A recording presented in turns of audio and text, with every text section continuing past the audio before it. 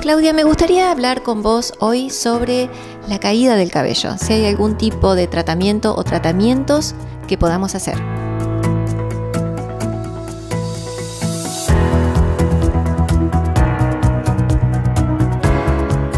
Sí, tratamientos hay diversos. Eh, lo importante siempre es eh, detectar eh, la causa de la caída. Sí, eso es muy importante, porque hay muchos pacientes que tienen una caída de cabello que puede ser estrés y otros pueden estar ligados a problemas hormonales, fundamentalmente los problemas de tiroides. Eh, más allá de eso, los tratamientos que uno puede ofrecer en consultorio son la mesoterapia, plasma rico en plaquetas, ozono, ¿sí?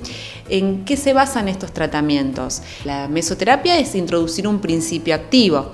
Pueden ser vitaminas, pueden ser medicamentos, para ayudar a detener la caída y vamos a tratar de que también tenga un nuevo crecimiento. Yo siempre les digo de entrada, eh, fundamentalmente es detener el avance del problema.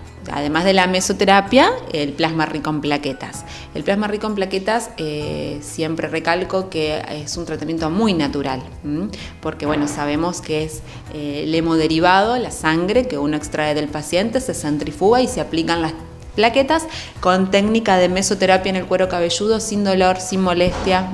Y bueno, son sesiones, lo bueno es que son sesiones quizás mensuales o cada dos meses y uno no tiene que estar viniendo al consultorio reiteradas veces en el mes para ver un cambio. Y hablaste también de ozonoterapia.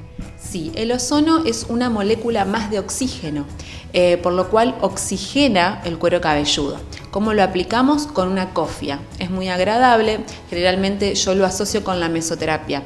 Viene el paciente, se pone la cofia, queda unos 15 minutos con la cofia ozonizando el cuero cabelludo y después se aplica la técnica de mesoterapia. Claudia, tenés pacientes hombres, mujeres, el tratamiento es ambulatorio y después pueden volver a su vida normal?